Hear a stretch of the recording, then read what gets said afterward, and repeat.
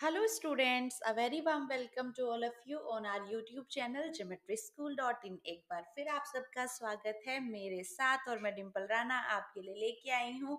आपके upcoming examination like military school Sainik school के लिए a set of twenty questions आज हम करेंगे सेट नंबर फोर्टीन बच्चों एग्ज़ाम बिल्कुल पास आ गया है. सेवनटीन ऑफ़ दिसंबर को आपका मिलिट्री स्कूल का एग्ज़ाम है. ऑल इंडिया सैनिक स्कूल के एग्ज़ाम जनवरी में है. तो अभी तक मैं थर्टीन सेट्स रिलीज़ कर चुकी हूँ. बिल्कुल फ्री ऑफ़ कॉस्ट अगर आपने वीडियोज़ को नहीं वॉच किया है तो कर लीजिए, क्योंकि इससे बाहर आपका कुछ नहीं आएगा। अगर आप साइंस में 50 में से आउट ऑफ़ 40 अबव लेके आना चाहते हैं, आउट ऑफ़ 50 तो इन वीडियोस को बिल्कुल स्किप ना करके जाएँ। इन वीडियोस को क्या साथ ही हमारे चैनल पर जितना भी हम तैयारी कराते हैं, किसी भी वीडियो को स्किप ना करें, क्योंकि एवरी ईयर हमारी वीडियोस से काफ़ी क्वेश्चन रिपीट होते हैं। इसके लिए वीडियो को लाइक ज़रूर करें और चैनल को बच्चों सब्सक्राइब कर लीजिए, जिससे कि आपको वो जितनी भी वीडियो अपलोड होती हैं, सबका नोटिफिकेशन मिलता रहे। चाहे आप सिक्स क्लास के लिए पढ़ रहे हो या नाइन्थ क्लास के लिए तैयारी कर रहे हो करंट अफेयर्स का जी के मैथमेटिक्स इंग्लिश का बहुत अच्छा क्वेश्चन कलेक्शन हम आपको इन टू मंथ्स में फ्री ऑफ़ कॉस्ट प्रोवाइड कराते हैं। तो इससे अच्छा प्लेटफॉर्म आपको नहीं मिलेगा। किसी एक प्लेटफॉर्म पर स्टिक रह के आप फ्री ऑफ़ कॉस्ट तैयारी भी कर सकते हैं। उसके लिए हमारा जो जोमेट्री स्कूल यूट्यूब चैनल है, आपके लिए बहुत ही अच्छा सॉल्यूशन है। तो जल्दी से चैनल को सब्सक्राइब कर लीजिए, क्योंकि ये वीडियोस आपको दिलाने वाली हैं आपके स्कूल्स में सिलेक्शन जिसके लिए आप पूरे साल से तैयारी कर रहे थे। चलिए स्टार्ट करते हैं आज की वीडियो आई होप वीडियो आपको अच्छा लगेगा. वीडियो को लाइक करना ना भूलें और कमेंट सेक्शन में अपना स्कोर ज़रूर डाला करें कि अगर आपने वीडियो को ध्यान से सुना है तो कितना आपने स्कोर किया है? ट्वेंटी में से क्या पता आपको आउट ऑफ़ ट्वेंटी क्वेश्चन आते हो? मेरे बताने से पहले ही तो अपना आंसर ज़रूर मेंशन करा करें कि आपने वीडियो को देखा है और साथ ही यहाँ पर कितने आपके करेक्ट क्वेश्चन आए हैं। तो आज आपको देखना है कि ट्वेंटी में से आप कितने मुझे अपने मार्क्स बताते हैं। तो चलिए स्टार्ट करते हैं आज का question number one Ramesh uncle has set up an electroplating factory near his village he should dispose of the waste of the factory तो यहाँ पर एक एग्ज़ाम्पल लिया है रमेश अंकल का कि उन्होंने एक इलेक्ट्रोप्लेटिंग फैक्ट्री लगाई है अपने गाँव के पास ही।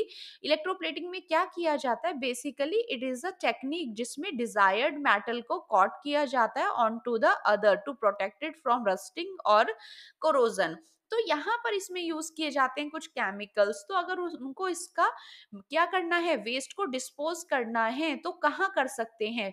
आसपास की नदी में in the nearby pond in the nearby cornfield और according to the disposal guideline of local authority very simple question थोड़ा सा भी आइडिया है कि अगर वो इस तरह की चीज़ें करते हैं तो ही कैन कॉज वाटर और as well as land pollution तो इससे बचाने के लिए हमको क्या करना चाहिए? गाइडलाइंस को फॉलो करना चाहिए, जो वहाँ के अथॉरिटीज के द्वारा दी गई हैं। तो D is the correct answer question number second from chapter some natural phenomena consider the list of the terms given below आपको कुछ टर्म्स दी गई हैं लाइक सुनामी आप जानते हैं थंडर आ जाता है, आपका स्टॉर्म्स आ जाता है वेव्स में उसे सुनामी बोलते हैं लैंडस्लाइड हो जाता है फ्लड आ जाती है that is the increment of the water in the river flow lightning होती है lightning due to the conduction of charges within the clouds और बिटवीन टू क्लाउड्स और विद इन द अर्थ और द क्लाउड तो इनमें से, इन चार टर्म्स में से अर्थक्वेक जो भूकंप होता है, वो इनमें से क्या क्या कोज कर सकता है?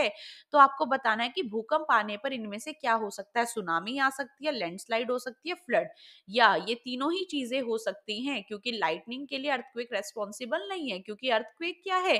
ये अंडर द अर्थ क्रस्ट होने वाला ट्रीमर है जो होता है within the tectonic plates जो under the earth crust layer में कोलाइड कर जाती है टेक्टोनिक प्लेट जिसकी वजह से आपको ऊपर ट्रीमर्स फील होते हैं, झटके फील होते हैं तो ये आपका अर्थक्वेक है तो ये तीनों ही चीज़ कोज कर सकती है। अगर ये अंडर द सी आती है तो सुनामी कोज कर सकती है। इससे लैंडस्लाइड बहुत ईजिली हो सकता है और नदियों के उफान आ सकते हैं। फ्लड तो तीनों ही बिल्कुल करेक्ट है तो ए ऑप्शन यहाँ बिल्कुल सही है। चलिए आगे बढ़ते हैं। Which of the following solution will not bulb grow in figure. तो यहाँ पर बेसिकली आपको बताया गया है कि आपके पास एक सॉल्यूशन है, जिसमें आपका बल्ब अगर ग्लो नहीं कर रहा तो किस सॉल्यूशन के केस में ये ग्लो नहीं करेगा? सोडियम क्लोराइड लाइक यहाँ पर NaCl है, इसी तरह आपका CuSO4 है और साथ ही आपका सिल्वर नाइट्रेट है। तो आपको पता है, जब भी यहाँ पर क्या होगा इलेक्ट्रिक करंट पास किया जाएगा तो यहाँ डिसोसिएशन स्टार्ट हो जाएगा और डिसोसिएशन के लिए यहाँ N positive CL negative charge generate होंगे copper sulphate C U S O four C U two positive S O four negative A G three positive N A और नाइट्राइट का minus one तो यहाँ पर sugar solution में किसी भी तरह का डिसोसिएशन नहीं होगा तो bulb will not glow out in case of D तो D is the correct answer which of the following force is a contact force? so basically you can understand that forces are of two type. Contact force and second one is non contact force बच्चों, में हर video में जो भी मेरा question होता है, मैं उसका आपको पूरा एक्सप्लेन करती हूँ। तो यहाँ पर कॉन्टेक्ट फोर्स जब अप्लाई होता है when there is any physical touch जैसे कि कॉन्टेक्ट की बात करें तो आप ध्यान रखिए, अगर आपको अपने बैक को पिक करना है तो you have to apply your muscles force तो यहाँ पर यह हो जाता है मस्कुलर फोर्स साथ ही फोर्स ऑफ़ फ्रिक्शन जब दो सरफेस आपस में कॉन्टेक्ट में आते हैं तो उनमें क्या होता है? सरफेस की वजह से फ्रिक्शन लगता है। तो ये दोनों ही आपके कैसे फोर्स है? कॉन्टेक्ट इसमें हमें एक बॉडी को दूसरी बॉडी के कॉन्टेक्ट में आना पड़ेगा टू अप्लाई द फोर्स लेकिन नॉन कॉन्टेक्ट की बात करें, जहाँ पर एक फोर्स होता है but without any physical contact that is gravity magnetic कभी कभी क्या करते हैं? मैग्नेट अट्रैक्ट करती हैं रिपेल करती हैं, एक दूसरे से दूर रहकर भी। और चार्जेस वजह से जो फोर्स होता है दैट इज़ इलेक्ट्रोस्टेटिक फोर्स तो ये तीनों ही आपके नॉन कॉन्टेक्ट फोर्स है। तो इनमें से फ़िज़िकल फोर्स में जो आपका कॉन्टेक्ट में है वो कौन सा है? फोर्स ऑफ़ फ्रिक्शन और मस्कुलर तो यहाँ पर हमारा ऑप्शन है फोर्स ऑफ़ फ्रिक्शन या इसे फ्रिक्शनल फोर्स भी कहा जाता है। तो B is the correct answer In our country, large patches of forest are being cleared for cultivation of crops. The environmental impact of such practice will lead to तो आपको पता है कि क्या होता है? बड़े बड़े फॉरेस्ट को कट कर दिया जाता है to get the spare land for cultivation of crops तो इसका क्या लीड हो सकती है? ये प्रैक्टिस क्या प्रॉब्लम क्रिएट कर सकती है? सॉइल इरोजन सॉइल का पोल्यूशन सॉइल कंजर्वेशन या फर्टिलिटी तो अगर आप सॉइल को क्लियर करेंगे तो उसके टॉप सॉइल के इरोड होने के बहुत ज़्यादा चांसेस हैं। तो यहाँ पर करेक्ट ऑप्शन क्या है? Option A we can see a non luminous object when the light dash तो नॉन ल्यूमिनस आपको पता है जो that do not give shine जो शाइन नहीं देता है, वो ऑब्जेक्ट्स आपके नॉन ल्यूमिनस ऑब्जेक्ट्स कहलाते हैं। तो आप इन्हें कब देख पाते हैं? Emitted by the object fall on the eye is reflected from the object like जब लाइट क्या होती है? किसी भी लाइक like आपका मून है, जैसे moon has not moon do not has its own light it just appear due to the light of sun तो जब लाइट इस पर पड़ती है तो वो रिफ्लेक्ट बैक करके वो हमारी आँखों तक आती है तो बेसिकली जब उस ऑब्जेक्ट पर लाइट रिफ्लेक्ट करेगी तो वो टुवर्ड्स अवर आई आती है। तो इसीलिए रीजन होता है कि हम उन्हें देख पाते हैं। तो B is the correct answer Shyam was cooking potato curry on a chula. To his surprise, he observed that his copal vessel was getting blackened from outside. तो यहाँ पर जो अर्दन पोर्ट में अर्दन पोर्ट में earthen lamp में वो use कर रहा था पोटैटो करी बना रहा था तो जो उसका कॉपर पोर्ट था वो स्लोली स्लोली ब्लैकेंड होने जा रहा था। उसका क्या रीजन है? प्रॉपर कंबेशन हो रहा था फ्यूल का इसलिए वो ब्लैक हो गया? इम्प्रॉपर कुकिंग चल रही थी अच्छे से कुकिंग नहीं हो रही थी इसलिए ब्लैक हो गया? या इम्प्रॉपर कंबेशन हुआ या बर्निंग ऑफ़ कॉपल वेसल हुआ? तो बेसिकली आप जानते हैं कि combustion combustions are of two type complete combustion incomplete combustion तो अगर आपको इनकम्प्लीट कंबशन फील हो रहा है तो मीन्स वहाँ पर क्या हो रहा है? एयर की प्रॉपर प्रेजेंस नहीं है, क्योंकि कंबशन के लिए fuel oxygen these are the requirements तो यहाँ पर जब प्रॉपर ऑक्सीजन नहीं मिलेगी तो प्रॉपर कंबशन नहीं होगा तो इसलिए C is the correct answer if we apply oil on door hinges, the friction will be very important question from friction chapter. आपके जो डोर्स होते हैं, जहाँ पर hinges लगे होते हैं, आप आफ्टर सम टाइम्स वो जब टाइट हो जाते हैं डोर्स तो we apply oil oil there and what do oil do these are the lubricants जैसे आप कैरम बोर्ड पर पाउडर स्प्रिंकल करते हैं तो लुब्रिकेंट्स क्या करते हैं बेसिकली तो जब आपके डोर हिंजेस एक दूसरे में टकराकर गेट को अच्छे से नहीं खोलते, क्योंकि यहाँ पर क्या हो रहा है? फ्रिक्शन बढ़ गया है, जो क्या कर रहा है मोशन को अपोज कर रहा है। आपको पता है friction force is a force that oppose the motion ये क्या करता है मोशन को रोकता है। तो जो डोर को प्रॉपर ओपन नहीं होने दे रहे हैं हिंजेस में जो जंग लग गया है, कोई भी रीजन है जिसका तो यहाँ पर आपने जब उसमें ऑयल डाल देते हैं तो वो बिल्कुल फ्री हो जाता है लूज हो जाता है। तो यहाँ पर क्या कर दिया उसने फ्रिक्शन को डिक्रीज कर दिया, क्योंकि फ्रिक्शन जब बढ़ गया था तो मोशन अपोज हो गया था। तो फ्रिक्शन डिक्रीज होने की वजह से क्या हो गया है मोशन अब होने लगा है। तो इसलिए आप ऑयल अप्लाई करते हैं डोर हिंजेस में, क्योंकि वो फ्रिक्शन को क्या कर देता है? डिक्रीज कर देता है। तो C is the correct answer in villages people use wood as fuel because यहाँ पर कंजर्वेशन से काफ़ी अच्छे अच्छे क्वेश्चन है, क्योंकि कंजर्वेशन चैप्टर से conservation of plants and animals से हमने ज़्यादा क्वेश्चन नहीं भी पढ़े हैं और कुछ क्वेश्चन हमारे कम्बशन से भी हैं। It is consider to be an ideal fuel ये एक आइडियल फ्यूल है। बच्चों आइडियल फ्यूल क्या होता है?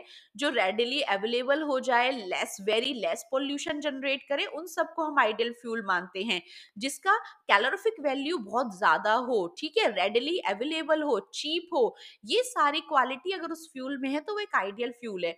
Of its easy availability and low cost ये हम मान सकते हैं। बिल्कुल विलेजेस में वुड नहीं मिलेगी तो और क्या मिलेगा? ट्रीज होते हैं, बहुत सारी ग्रासेस होती हैं जिनको वो यूज़ करते हैं और अपने घर में खाना बनाते हैं ये एनवायरमेंट फ्रेंडली तो बिल्कुल नहीं है because lots of smoke is produce by them they can catch fire easily no wood का जो है, उसमें क्या होता है?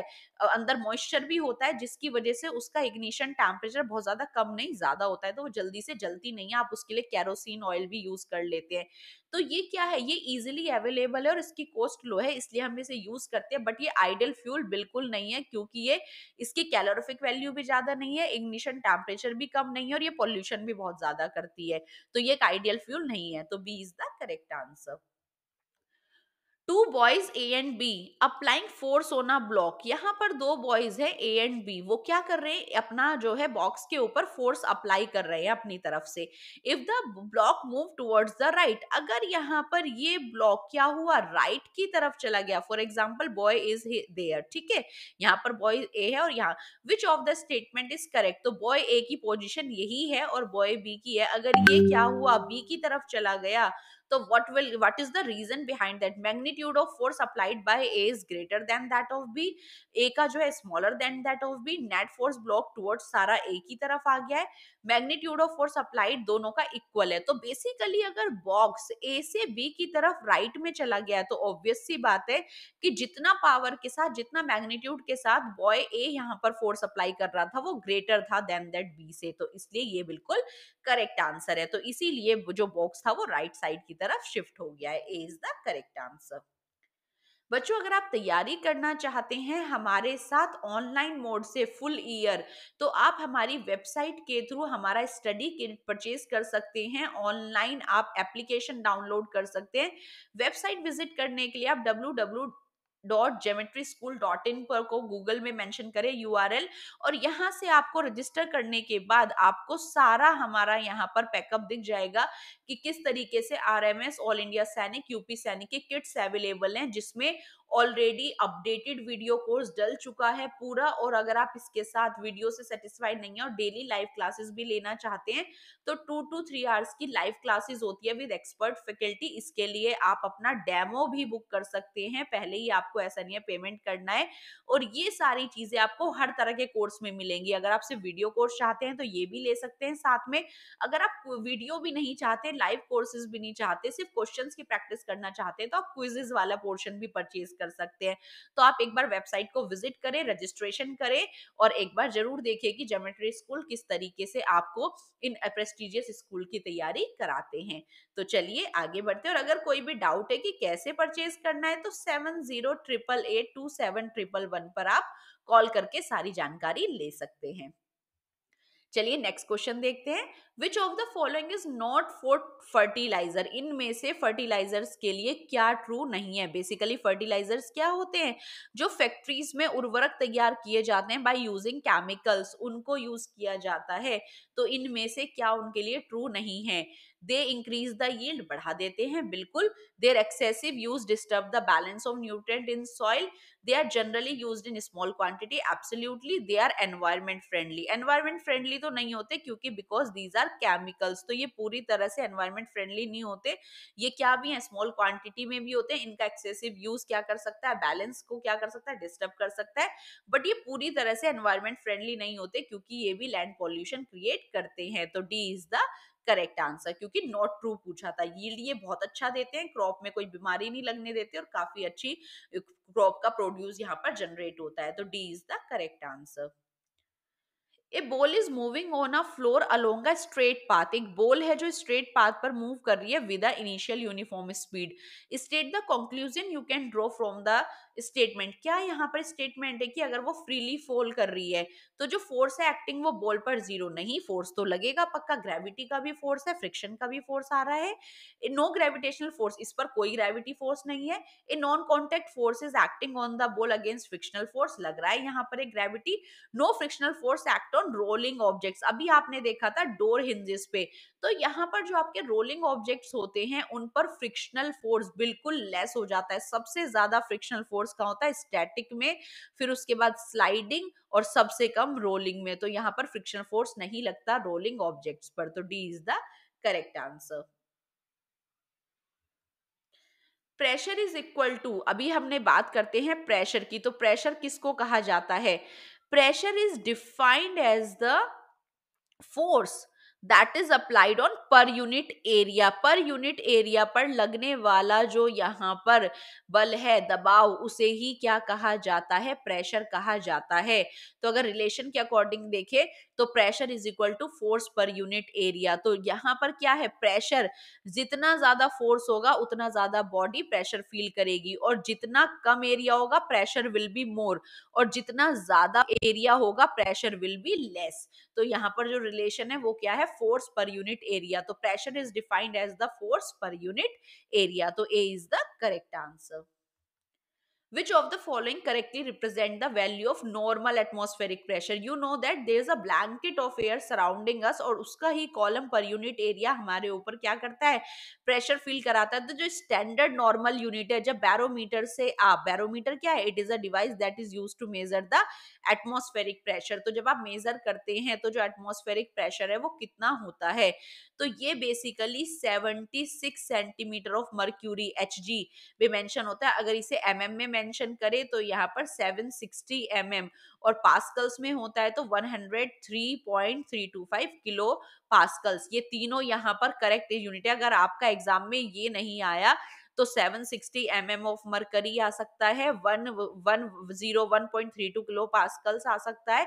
तो अभी के अकॉर्डिंग ये करेक्ट आंसर क्या है? 76 centimetre of mercury normal atmospheric unit है, जो मेजर की जाती है with the help of barometer तो D is the correct answer acceleration is a vector quantity which indicate that it is क्योंकि अब एक्सिलरेशन की बात करें तो ये वेक्टर क्वांटिटी क्यों है?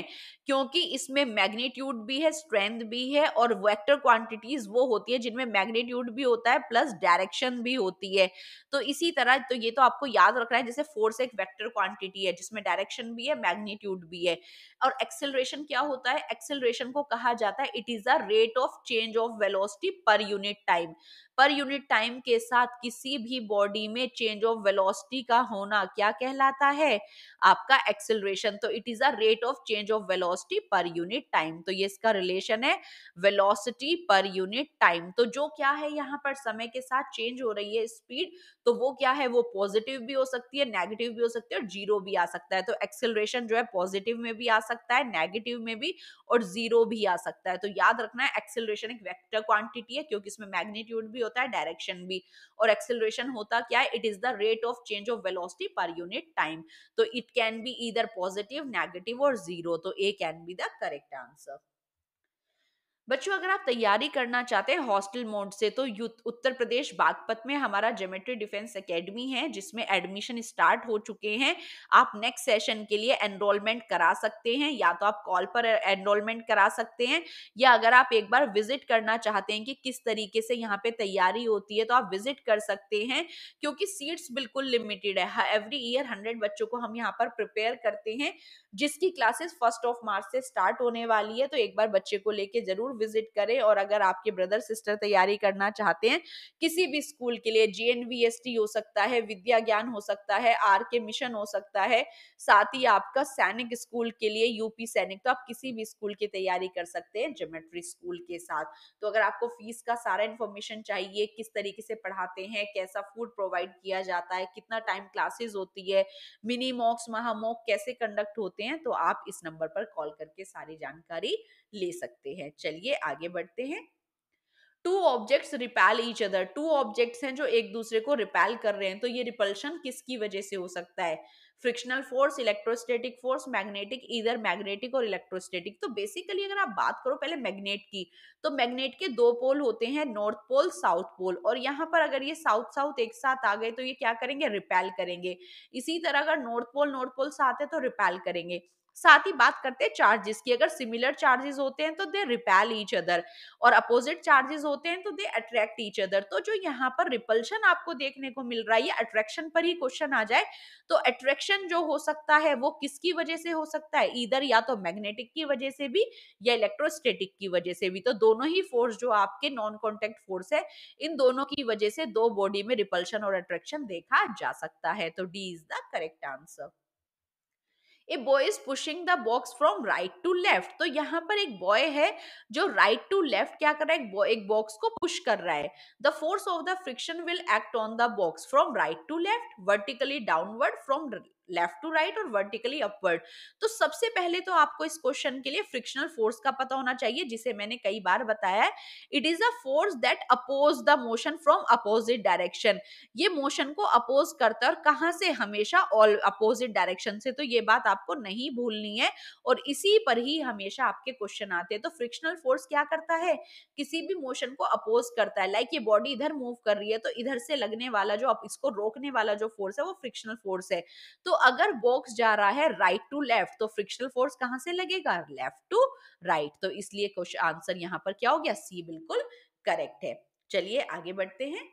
When the surfaces in contact tend to move or move with respect to each other, जब दो सरफेस यहाँ पर कांटेक्ट में होते हैं, और यहाँ पर जो force of attraction force of friction उनमें लगता है तो वो कैसे? If the objects are only solid if the objects are liquid if the objects are gaseous और whether they are solid liquid और गैस तो आपको पता है जो यहाँ फ्रिक्शनल फोर्स है, वो सब्सटेंसेस क्योंकि आपको पता है बोट्स पर भी फ्रिक्शन फोर्स लगते हैं शिप पर भी लगते हैं गैसेस में भी लगते हैं तो या तो कोई भी आपका even you know that liquid और गैसियस की वजह से जो यहाँ पर फ्रिक्शन है दैट इज़ उनको हम ड्रैग बोलते हैं। तो ये किसकी वजह से भी हो सकता है? ड्रैग आपका एक फोर्स है जो लिक्विड और गैसियस की ऊपर फील होता है तो या तो आपका सब्सटेंस सॉलिड हो या लिक्विड या गैस तब भी आपको फ्रिक्शन फोर्स फील होगा। तो यहाँ पर ये कम इन टू प्ले तीनों ही केस में आता है। तो D is the correct answer what do freezing do when preserving food बच्चों कुकिंग एंड प्रिजर्विंग से भी आपके अच्छे क्वेश्चन आते हैं।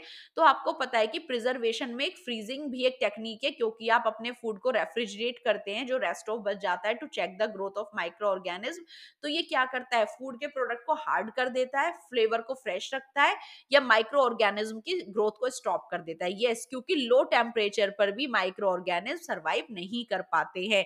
जैसे हीटिंग मैथड में नहीं कर पाते, जैसे कि पास्चराइजेशन जिसमें मिल्क को हीट किया जाता है और फिर चिल्ड किया जाता है, वो किस लिए? जिससे कि माइक्रोब उसमें से किल हो सके। तो यहाँ पर ये आपका सी करेक्ट ऑप्शन है। Which chemical is use to check the growth of microorganism हमारे घर में बहुत सारे ऐसे केमिकल मेथड्स हम यूज़ करते हैं फ़ूड को प्रिजर्व करने के। जैसे हमारा कॉमन सॉल्ट है, हम एडिबल ऑयल जैसे पिकल्स बनाते हैं तो अपने एडिबल ऑयल ऐड करते हैं। तो सॉल्ट के साथ आप शुगर से भी कर सकते हैं। तो इसी तरह कौन सा केमिकल आप परचेज करते हैं जो आपके as a food preservative use होता है? Zinc sulphide sodium benzoate barium chloride या एंड नन ऑफ़ दीज तो आपको याद रखना है sodium benzoate and sodium meta bisulphite ये दो केमिकल आपके मेंशन हैं सोडियम मेटा बाइसल्फाइड दोनों ही केमिकल यूज़ होते हैं एज अ फ़ूड प्रिजर्वेशन और आपने इन्हें पिकल्स में भी जैम्स में भी मेंशन देखा होगा बॉटल्स के ऊपर. तो सोडियम बेंजोइड इसका करेक्ट आंसर है. तो ये दो केमिकल यूज़ किए जाते हैं। So student these were your twenty question I hope you like the video video अच्छा लगे तो लाइक ज़रूर करें। चैनल को सब्सक्राइब करें वीडियो को ज़्यादा से ज़्यादा शेयर करें और एग्ज़ाम की प्रिपरेशन के लिए जोमेट्री डिफेंस अकेडमी के साथ बने रहें। Thanks for watching see you soon with the next set bye